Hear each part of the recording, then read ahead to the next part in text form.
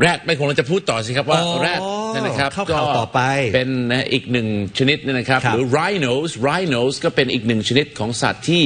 ก็สุ่มเสี่ยงกับการที่เราอาจจะได้เห็นแต่ในรูปภาพ ถ้าเราไม่ช่วยกันเนี่ยนะครับครับดังนั้นเนยนะครับวันนี้เราไปดูนะครับ นักวิทยาศาสตร์เขาได้มีการผสมเทียมแรดขาวเหนือสำเร็จว้าวเพราะที่จริงแล้วเหลืออยู่แค่กี่ตัวไหมครับในโลก เยอะไหมนะสองตัวเองครับ ว้าวเหลืออยู่แค่2ตัวเองเท่านั้ครันบผม เองเนี่ยนะครับ ซึ่งไปลองดูเนี่ยนะครับ นักทีมทีมนักวิทยาศาสตร์เนี่ยนะครับ ที่นำโดยสถาบัน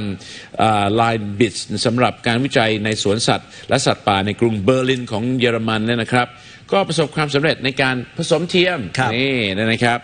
แรดขาวเหนือ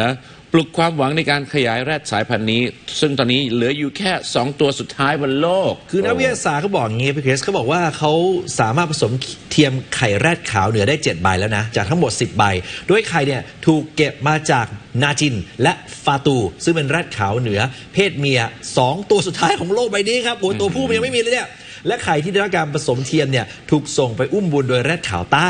ส่วนสเปิร์มที่ใช้ในการผสมเทียมเนี่ยนะฮะถูกเก็บมาจากแรดขาวเหนือตัวผู้ที่ถูกแช่แข็งเอาไว้ โอ้โหนะฮะโอ้โหซึ่งทางนี้นะครับเมื่อปีที่แล้ว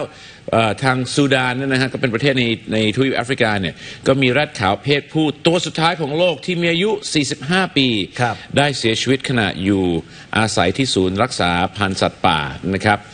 ซึ่งอยู่ทางตอนเหนือของกรุงนาราบีของเคนยา โดยที่นั่นมีนาจินและฟาตู ซึ่งเป็นลูกและหลานของซูดานอ๋ออ๋อซูดานเนยนะครับเป็นแรดนะฮะไม่ได้ไม่ใช่ชื่อประเทศนะฮะอ่าใช่ไหมครับ ซึ่งอยู่ในประเทศเคนยาเนี่ยนะครับ และช่วงทศวรรษปี 1970เนี่ยนะครับ in the 70s นะครับใส่ครับ apostrophe s in the 70s ก็คือในยุค 70เนี่ยนะครับ เชื่อไหมครับว่าแรดเหนือนะเขาเรียกว่าแรดขาวเนี่ยนะฮะก็มีอยู่แค่สองเหมือนกันครับพี่เต้สองสองเท่าไหร่ครับนะสองหมื่นนะครับอ้าวโอเค